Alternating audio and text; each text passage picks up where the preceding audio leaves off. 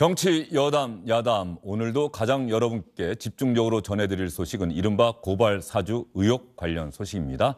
김웅 국민의힘 의원 이 고발 사주 의혹의 한가운데 서 있는 인물이죠. 그동안 몇몇 언론사와 개별적으로 인터뷰를 하긴 했습니다만 오늘 오전에 기자회견을 자청했습니다. 기자회견을 자청한 만큼 보다 진전된 내용을 국민에게 설명할 것으로 예상이 됐는데 김웅 의원이 오늘 국민에게 밝힌 내용은 지금까지 언론 인터뷰 내용과 크게 다르지 않았습니다. 핵심적인 부분에 대해서는 기억이 나지 않습니다. 라고 반복해서 이야기했습니다.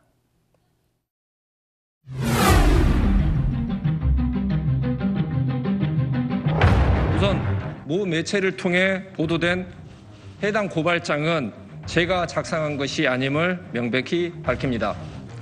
당시 대화는 제가 최 모 의원의 관련 문제를 당내에서 최초로 제기했다는 점을 밝히는 것이었고 또 제가 정치 공작에 가담했다는 루머를 퍼뜨리는 세력이 있는데 이는 명백한 허위사실 유포이며 엄중히 법적 조치를 취할 예정입니다.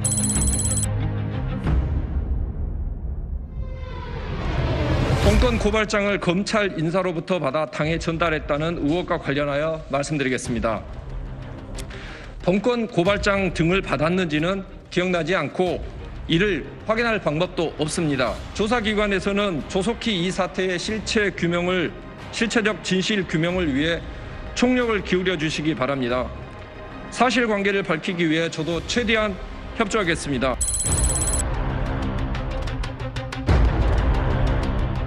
불미스러운 일에 관여된 거에 대한 책임을 지고 어, 지금 현재 제가 맡고 있는 유승민 선거운동본부 캠프에 어, 대변인직을 내려놓도록 하겠습니다.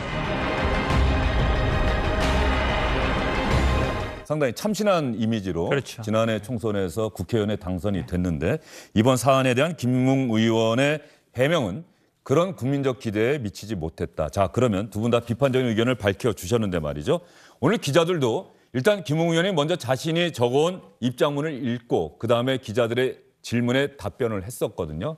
기자들도 얼마나 답답했겠습니까? 기자들이 가장 많이 한 질문은 어떤 것들인지 그리고 그 질문에 김웅 의원은 어떤 내용으로 답변했는지 저희가 따로 영상으로 구성해 봤습니다.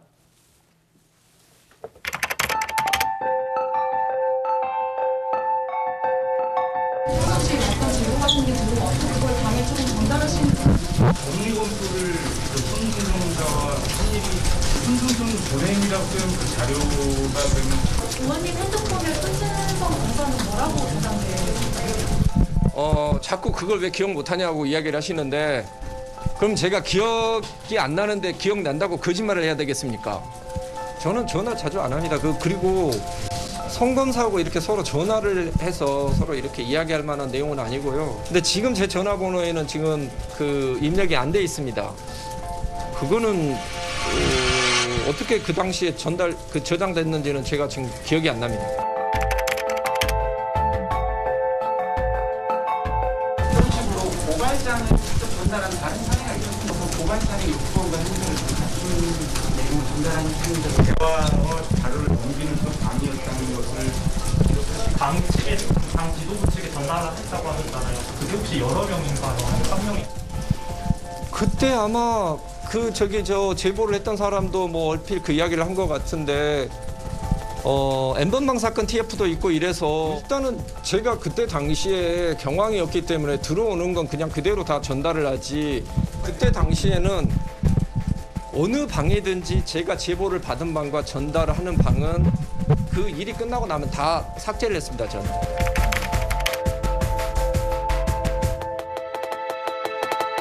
그러면 어머니 그 관계자는 왜 이거를 제보했다고 판단하시나요? 자료를 받은 사람과 제보자를 동일인으로 지금 계속 가정해서 얘기를 하시는 거예요. 이 제보자가 드러나면 진실이 밝혀질 거란 말씀을 많이 하셨는데 그건 오늘 윤석열 거를 유승민 잡으려고 하는 거다 이렇게 말씀을 하셨는데 네. 배경에 대해서 음, 제가 생각하는 그 제보자가 만약에 맞다면 맞다면은 그 의심이 어, 뭐 쉽게 금방 와 닿으실 거예요.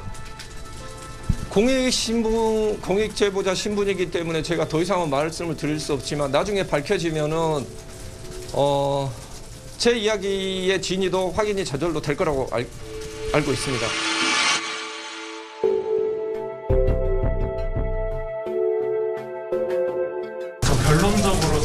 4월 3일 고발자의 4월 8일 그거 다 기억이 안 나신다는 말이에요.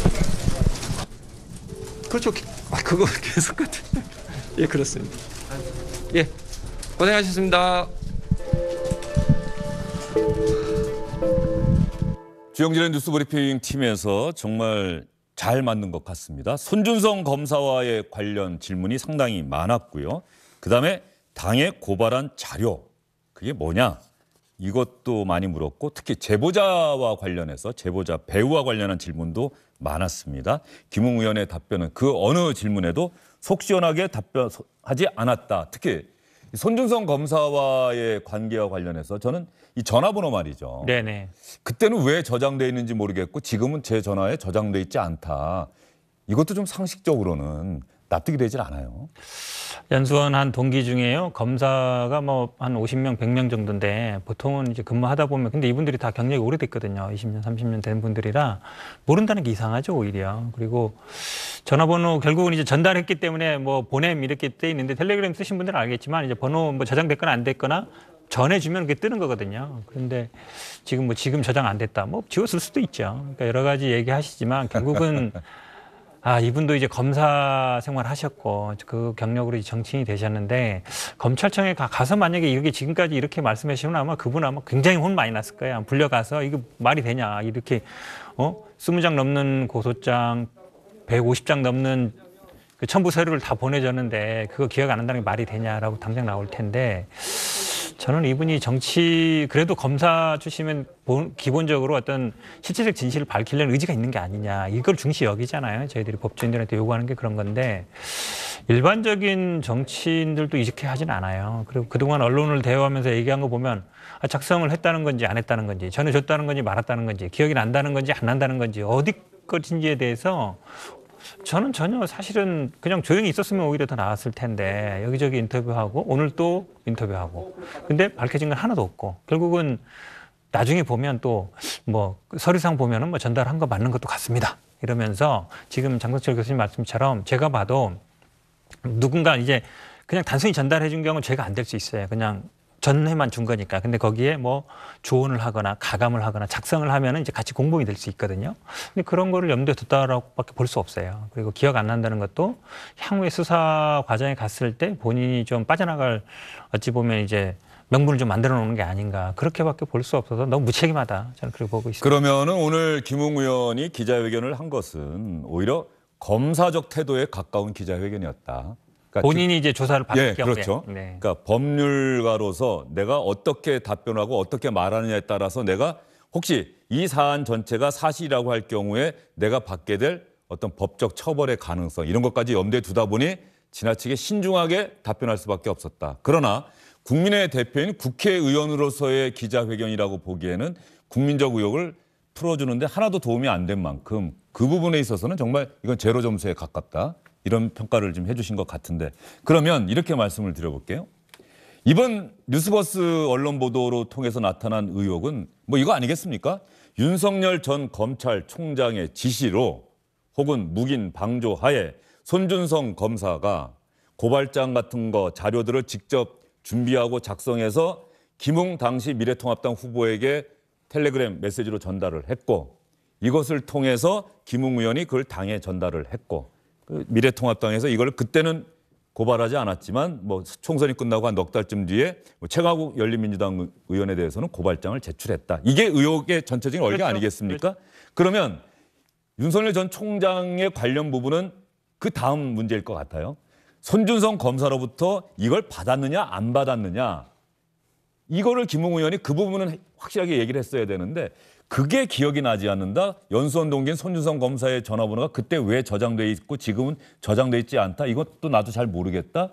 이런 답변을 어느 누구가 이게 수긍할 수 있겠는가 이런 생각이 들 수밖에 없어요. 앵커님 이 사건과 관련해서는 평론하기가 너무 어려워요. 사건의 실체가 지금 밝혀진 거는 딱 하나 같아요. 내가 뭔가 자료를 당에 전달해 줬다 이거밖에 없어요. 근데 그 전달 자료가 고발장인지 아니면 내가 쓴 뭐 낙서 같은 건지 아니면 그냥 뭐 어떤 첨부 자료인지 그것도 기억이 잘 안 난다라는 거거든요. 이걸 가지고 어떻게 평가를 해야 될지 모르겠어요. 사실이라면 만약에 이런 가정법 하에 와 이거 정말 윤석열 후보가 이걸 지시했으면은 좀 후보 사퇴해야 될 건 아닙니까? 그리고 손준성 변호사 어떻게 어, 아, 손준성 검사 어떻게 어, 수사 정보 정책관으로 있으면서 이런 식의 고발장을 만들 수가 있어요? 이렇게 비판할 수 있지만 핵심 당사자인 김홍원이 기억이 안 난다고 하니 평론하는 저로서도 정말 너무 답답하고 힘듭니다.